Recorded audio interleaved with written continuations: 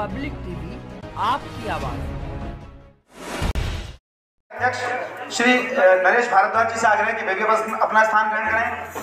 और आदरणीय श्री सत... दीप प्रज्वलन हुआ। और दीप की क्या महत्ता सर? दीप की महत्ता अंधियार होने के बाद दिखाई देती है। और दीप भी कामना करता है अपनी कामना इस दीप को दे दीजिए। और यह दीप निरंतर जलता रहे। और जिस तरह से ये दीप जले, उस तरह ये कार्य मैं सरस्वती वंदना के लिए लक्ष्मी नारायण लीला श्रोत्रीय सरस्वती विद्या मंदिर, इंटर कॉलेज, चौरासी घंटा सरस्वती की वंदना यहाँ प्रस्तुत करें, ताकि कार्यक्रम को गति मिल सके। मेरा भाई साहब, सभी से आग्रह मेरा कि अपना मंच पर मंच के सामने जो चेयर्स हैं, उन पर अपना स्थान ग्रहण करें।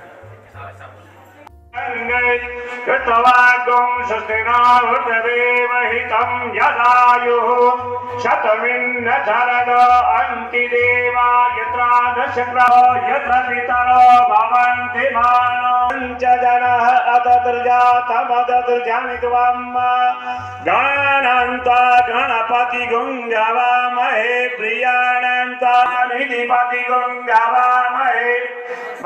मम आहम जानि गर्भधम त्वमराधी की परशुराम भगवान की परशुराम भगवान की हमारे सभी मानवाओं से आग्रह है कि मंच पर कार्यक्रम में नीचे अपना स्थान ग्रहण करें। विपक्ष के पास सिवाय निशाना साधने का कोई बात बाकी नहीं है। सीधी सी बात यह है कि माननीय उच्च न्यायालय ने आदेश दिया है कि पिछड़ा वर्ग आरक्षण के संबंधित जो अधिसूचना थी वो निरस्त की है। अधिकार है न्यायालय का। उसने समीक्षा की उसको लगा कि उपयुक्त नहीं निरस्त कर दिया। लेकिन अब वो अगर ये कहेगा कि आप बिना ओबीसी आरक्षण के चुनाव करा लो तो भारतीय जनता पार्टी राजनीतिक दल है और राजनीतिक दल अपने अपने हिसाब से काम करेगा। अंततोगत्वा हम ओबीसी आरक्षण कराने के बाद ही चुनाव लड़ेंगे। अच्छा सर यहाँ जो एक कांग्रेस के नेता है उन्होंने राहुल गांधी की तुलना भगवान नाम से की है।